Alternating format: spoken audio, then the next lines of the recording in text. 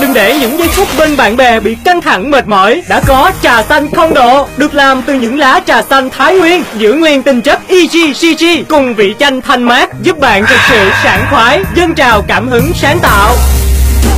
ta cùng nhau ta bên nhau gần hướng đi yeah wow, wow, wow. chia sẻ